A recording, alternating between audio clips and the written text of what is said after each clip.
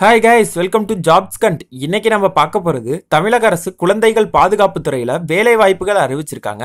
அதை பற்றி தான் ஃப்ரெண்ட்ஸ் இந்த வீடியோவில் ஃபுல்லாக டீட்டெயிலாக பார்க்க போகிறோம் ஸோ ஸ்கிப் பண்ணாமல் ஃபுல்லாக பாருங்கள் யாரெல்லாம் ஒன்றும் ஜாப்ஸ் கண்ட் சேனலில் சப்ஸ்கிரைப் பண்ணலையோ சப்ஸ்கிரைப் பண்ணுங்க. வாங்க ஃப்ரெண்ட்ஸ் வீடியோக்குள்ளே போகலாம். ஓகே ஃப்ரெண்ட்ஸ் இந்த ஜாப்க்கு சேலரி எவ்வளோ தராங்கன்னா இருபத்தி ஓராயிரம் தராங்க.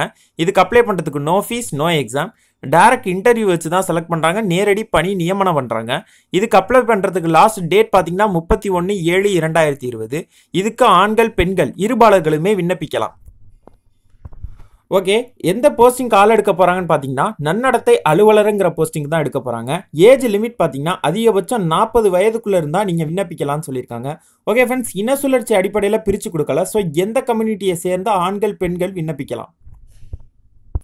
ஓகே ஃப்ரெண்ட்ஸ் தொடர்புக்கான நம்பர் கொடுத்துருக்காங்க. உங்களுக்கு ஏதாவது டவுட்னா இந்த நம்பருக்கு கால் பண்ணி நீங்கள் அந்த டவுட்டை கிளியர் பண்ணிக்கலாம் ஃப்ரெண்ட்ஸ் ஓகே ஃப்ரெண்ட்ஸ் இந்த ஜாப் பொறுத்தவரை எப்படி விண்ணப்பிக்க சொல்லியிருக்காங்கன்னா நேரடியாக நேரடியாக சென்று விண்ணப்பிக்க சொல்லியிருக்காங்க ஃப்ரெண்ட்ஸ் அதாவது விண்ணப்பத்தை போய் நேரடியாக அவங்க ஆஃபீஸ்லேயே வாங்கி அங்கேயே பூர்த்தி செய்து அப்ளை பண்ண சொல்லியிருக்காங்க. விண்ணப்பம் எந்த அட்ரஸில் கிடைக்குதுன்னு பார்த்தீங்கன்னா மாவட்ட குழந்தைகள் பாதுகாப்பு அலுவலகம் காயன் டுவெண்ட்டி ஃபோர் மாவட்ட ஆட்சியர் கூடுதல் வளாகம் பிங்கர் போஸ்ட் உத்தக மண்டலம் நிலகரி மாவட்டம். இந்த அட்ரஸில் போய் நீங்கள் டேரெக்டாக விண்ணப்பத்தை வாங்கி பூர்த்தி செய்து அப்படியே அப்ளை பண்ணிக்கலாம் ஃப்ரெண்ட்ஸ் ஓகே ஃப்ரெண்ட்ஸ் வாங்க எஜுகேஷனல் குவாலிஃபிகேஷன் பார்ப்போம். இந்த இந்த ஜாபுக்கு அப்ளை பண்ணுறதுக்கு எஜுகேஷனல் குவாலிஃபிகேஷன் பார்த்தீங்கன்னா பிஎல் எல்எல்பி ரெகுலர் பேசிஸில் இளங்கலை பட்டம் பெற்றிருக்க வேண்டும்னு சொல்லியிருக்காங்க.